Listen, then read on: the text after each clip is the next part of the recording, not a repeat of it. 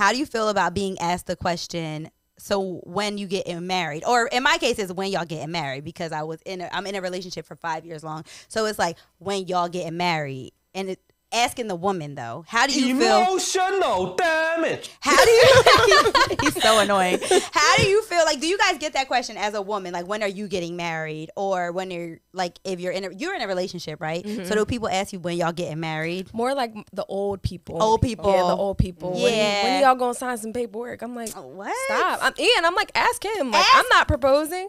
That is my biggest issue with this Yeah. question. It's like, why would you ever ask a woman that? Right, Right. right, right. I'm not about to be like Chrissy getting on my knees proposing to him. Yo, I'd rather swallow Oh, a God. jean jacket. Yo, But than when you think about ever. it, you think you, I know, Literally. But it's weird. It's Like- because like I feel like women get asked that question more than a man. and it's, Yeah. that's the but problem. in, in the response, I don't know. Ask him yes, Exactly. Right. if it's his. If that is society's way that the man is to propose to the woman, which you don't even. I don't.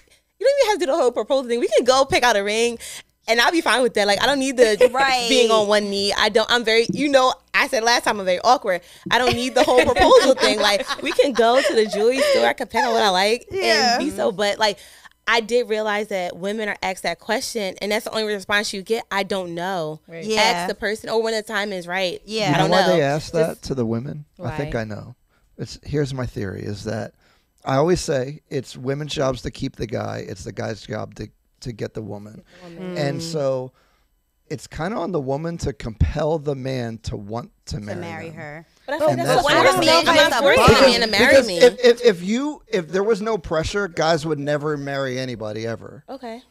That's not what we do. That's not really like there was no what pressure- They need guys want to do. to be pressured into doing it. You have to convince them to want to stay.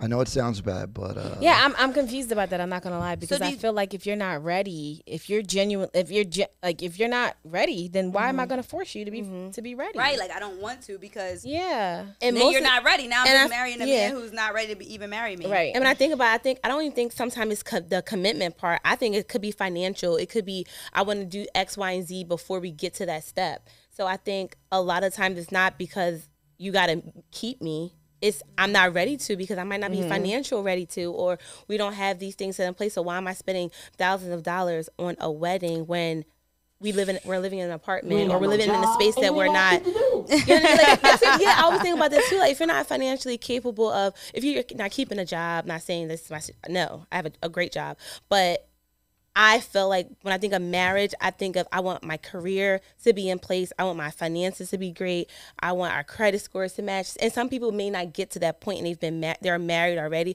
but that's just my perspective on what I want. And a lot of men know? have like goals like that that they want to make sure they reach before So they that's get yeah. married. So they're not going to do it. I'm like, well, I don't have this amount of money in my bank account, so why would I buy her a ring? I like this. Yeah. or why would I make that commitment to her? And Right. I'm not.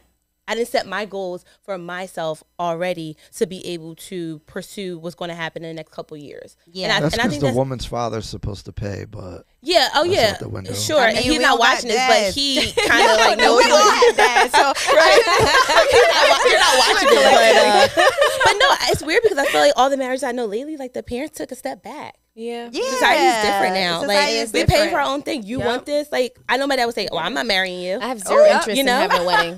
right? I'm not marrying you, so I'm not interest in paying. having a wedding. I'll get. too. I want to get married, but a wedding to me, I don't. I'm not interested. Stupid. Stop the cap.